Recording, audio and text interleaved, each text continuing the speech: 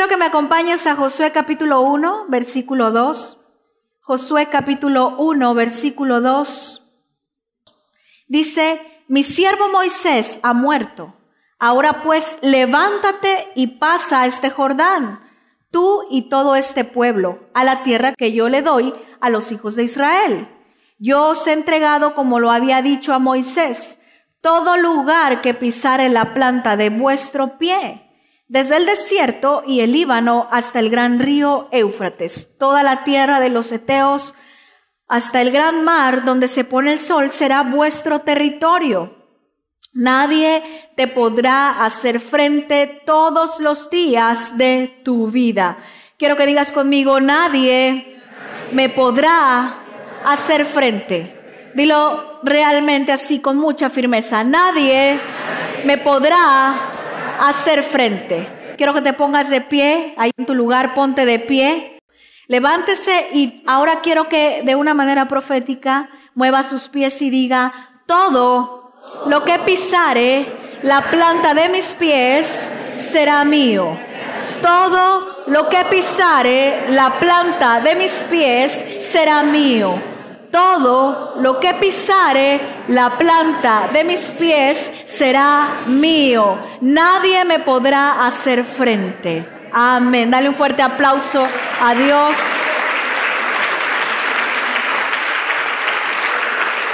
Puedes tomar tu lugar. Palabras de Dios a Josué le dice, nadie te podrá hacer frente todos los días de tu vida. ¿Cuándo? Todos los días. Como estuve con Moisés, estaré contigo. No te dejaré ni te desampararé. Ojo. Versículo 6. Esfuérzate y sé valiente, porque tú repartirás a este pueblo por heredad la tierra a la cual juré a sus padres que la daría a ellos.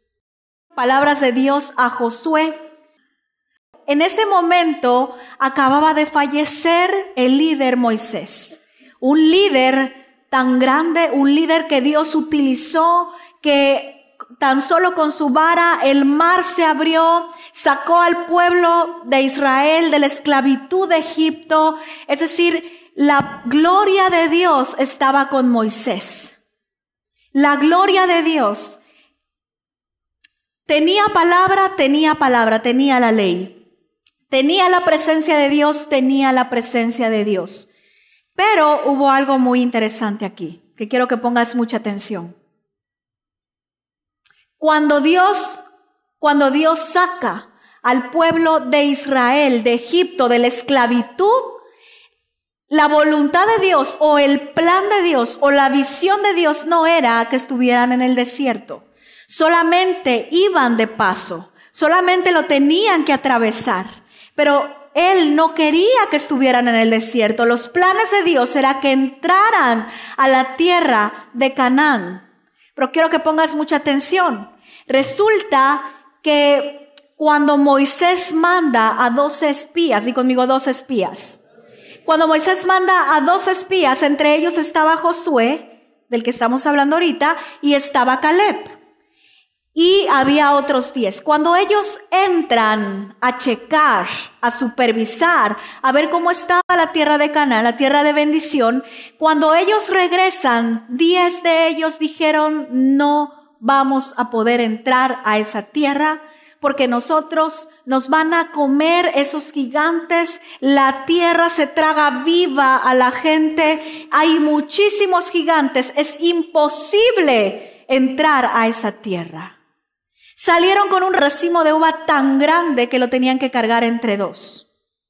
¿Qué te quiero decir con esto? Que cuando ellos regresan, dos de ellos, Josué y Caleb, dicen, sí se puede Moisés, sí podemos conquistar Moisés, pero diez dijeron, no se puede. Moisés escuchó más la voz de los diez que de los dos. Y Moisés dijo, muy bien, la mayoría gana por votación, aquí nos quedamos. Y la consecuencia fue que estuvieron durante 40 años en el desierto, pero no era la voluntad de Dios. Es decir, Dios no quería tenerlos allí en el desierto. Y entonces, cuando, cuando estaban en el desierto, la gloria de Dios, aún en su misericordia, Dios estaba con ellos. Había una columna de noche, que, de fuego de noche, que los cubría o los guardaba o los resguardaba del frío del desierto y había una nube durante el día que los resguardaba del sol.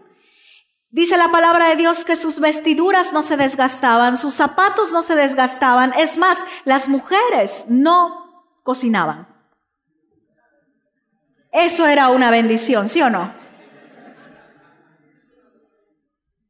Están emocionadas. Pero ojo, no era donde Dios los quería tener.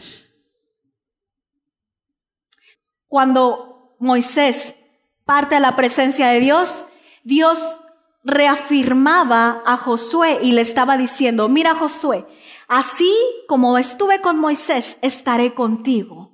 Así como yo lo respaldé, así te voy a respaldar a ti. ¿Sabes cuál es el problema muchas veces? Que a veces pensamos que Dios no nos puede utilizar. Es decir, esas palabras Dios sí las creía, pero el que necesitaba sentirlas o el que necesitaba recibirlas en ese momento era Josué. Josué necesitaba ser afirmado y Dios lo sabía, por eso se lo dijo.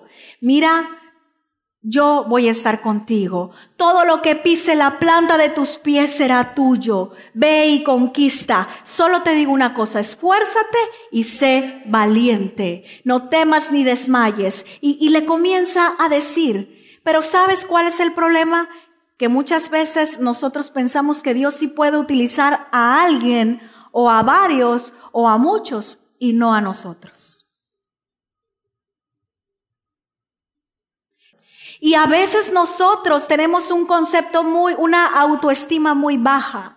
Y pensamos, no, Dios, solamente tú estuviste con Moisés, pero ya se acabó todo. Ahora no creo que puedas estar conmigo. Quiero decirte que estamos muy equivocados, porque Dios es el mismo de ayer, de hoy y de siempre. Él no cambia. Él es eterno por los siglos de los siglos.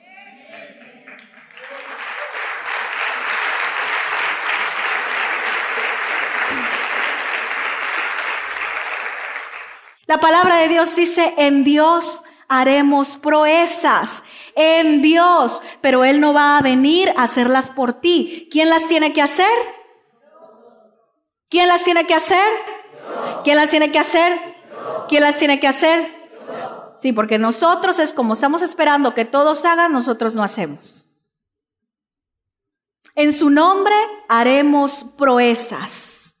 Quiero que digas conmigo, en su nombre haremos proezas. Quiero que me acompañes a números capítulo 14, versículo 20. Dice, entonces Jehová dijo, yo lo he perdonado conforme a tu dicho. Estaba refiriéndose a Israel. Mas tan ciertamente como vivo yo y mi gloria llena toda la tierra. Quiero que digas conmigo, la gloria de Dios llena toda la tierra. Todos los que vieron mi gloria y mis señales que he hecho en Egipto, las señales que hizo Dios antes de que salieran del pueblo de Egipto. Y en el desierto, y me han tentado ya diez veces y no han oído mi voz. Ojo, ¿Dios estaba con el pueblo de Israel? Sí. ¿Estaba contento? No. El problema es que muchas veces Dios está con nosotros, pero no está del todo contento con nosotros. Porque si no hemos llegado más allá, es porque no hemos ido nosotros en pos de las promesas que Dios nos ha dado. Es decir, Dios va a llegar hasta donde tú lo lleves. Hay gente que piensa que va a caer un milagro de la noche a la mañana. No, hay que trabajar duro.